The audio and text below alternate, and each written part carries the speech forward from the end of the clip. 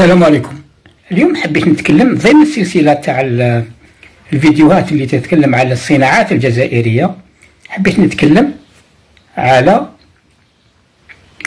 آه، صناعات الهياكل المعدنية ليزاندستري آه، ميتاليك وصناعة تحويلية نتاع المعادن. بجميع أنواعها فالألومنيوم والحديد والفولاذ وحتى الزنك وكل أنواع الحديد. هناك آه، مجمع وطني آه، كبير جدا هو مجمع IMETAL industrie métallique مجمع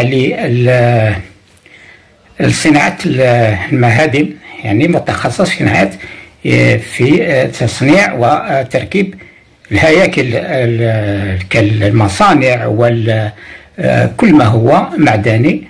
وهذا المجمع آه، اللي يسمى IMETAL قد تم إنشاؤه في 2015 بعد إعادة آه، الهيكلة آه، la restructuration ما يسمى ب la restructuration نتاع شركة أسن ميطال اللي كانت موجودة في الميدان نتاع البناءات المعدنية.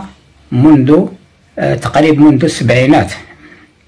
إذا آه، هذه الشركة تاع إيميطال اللي هي في الحقيقة ستان جروبمون مجمع يتكون بأكثر من عشرين فرع متوزعة على كل ولاية الوطن آه، ومختصة في جميع الفروع نتاع الصناعات الهياكل المعدنية من تحويل الحديد من تركيب من تصميم المنشآت الحديديه les constructions métalliques إلى آه، كل أنواع الفروع المتعلقة بالصناعات يعني صناعات الهياكل المعدنية.